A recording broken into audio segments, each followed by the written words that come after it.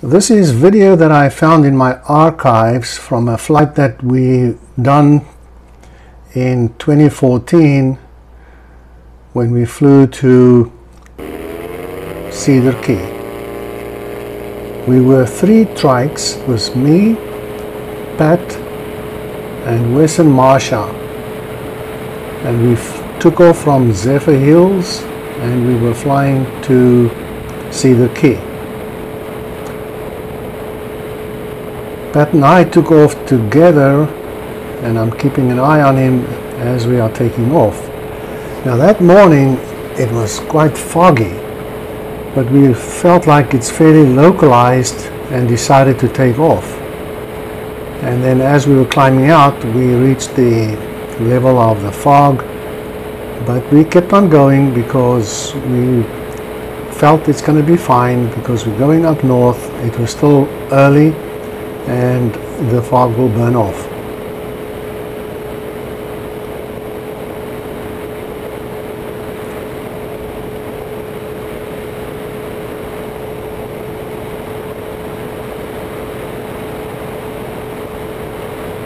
As you can see now we're getting above the fog and to our surprise it was not localized and as far as we can see there was a fog layer that eventually became like a cloud layer. At that point we decided to just keep on going because at some stage it will clear up and if need be we can land at Crystal River which is like the halfway point. We had enough fuel and just kept on going.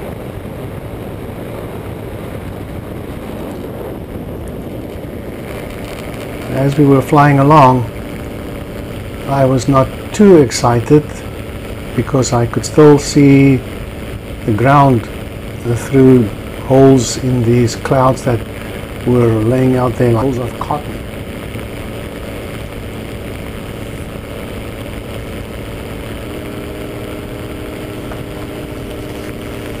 So as we went further on, we eventually got to Crystal River and no more clouds. I don't know on the video if you can see Pat and Wes. Uh, Marsha was with Wes in the Revo and he was always up front because he had a stronger trike than, than me with my 582.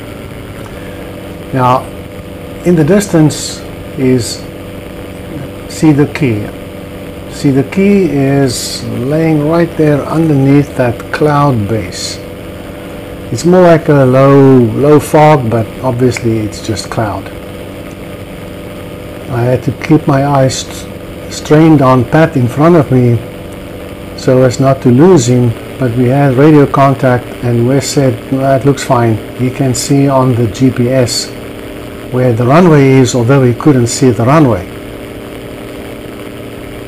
He was just flying blindly on the, uh, the app on his trike where you can see where the runway is. So he took a downwind guess and flew on the downwind. And as soon as he saw a hole, he took the hole and went through and let us know there is a hole.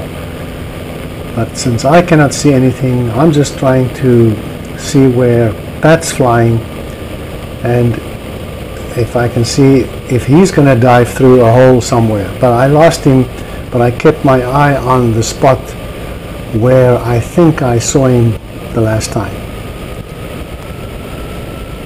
So I was slowly cutting on the power and then at this point just basically gliding down because at this time I think we were around about uh, two and a half, three thousand feet.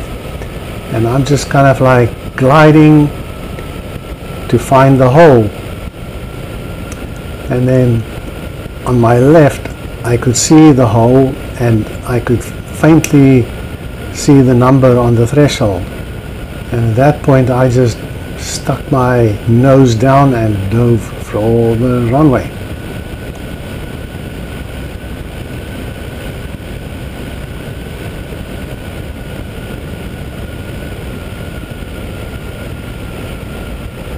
to my relief, I see that I'm gonna make it, but I'm just coming in with no power, and all I'm thinking is, made it, I just want to get this thing on the ground. And as I'm landing, you can see that uh, on the right hand side is Wes and Marsha sitting there videotaping my coming in and on the left hand side is Pat waiting for me to come in as well. Obviously they pulled off the runway.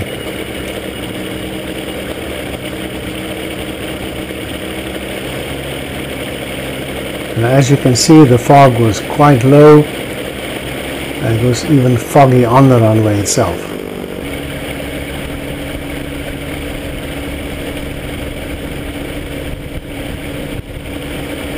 We taxied back to where we could park and the taxi driver from Cedar Key was already there waiting for us because they keep an ear on the radio and can hear when there's aeroplanes coming in. Now this is a view from Marsha who took this video and you can see Pat just all of a sudden appeared. He came in first landing and then she had to search for where I am. And just like that, I appeared right out of the fog and I was just happy to dump this thing onto the runway.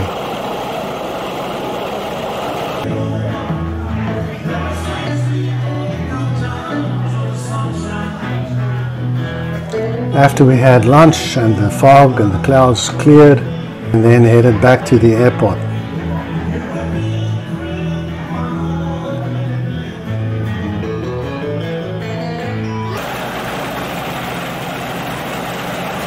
Everything cleared up. The sun was out. Fired up. And now heading back to Zephyrhills. The distance is approximately 85 miles and we had to fly over quite some crappy terrain and marshlands and I was looking down thinking oh boy I hope I don't go down over here because I would never get this trike out of the mud but all in all we came back it was a good experience and since I found this video I thought I need to keep it to show it to my grandkids one day Now you can see I, I can make a good landing if I have to. Okay, thank you for watching.